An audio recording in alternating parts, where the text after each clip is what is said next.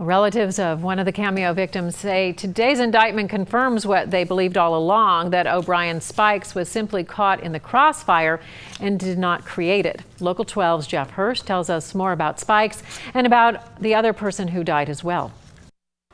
Two people died from the cameo gunfire. One, DeAndre Davis, police say, was one of the shooters.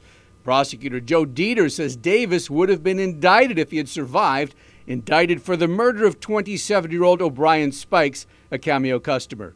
Deters says there is no indication that Spikes fired a gun or was specifically targeted in the dispute, which led to crossfire in the crowded night spot.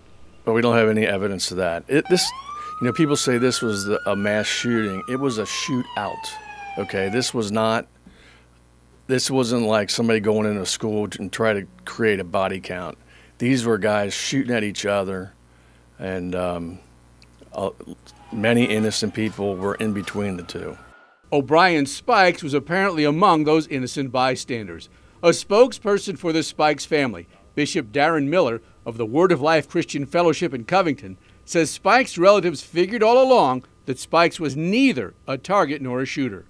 Well, I think the family knew that from the beginning because they knew what kind of son he was, what kind of brother, what kind of father he was. So they knew that there's no way he could have had something to do with this. So to hear that, you know, he was an innocent bystander, that's something they already knew.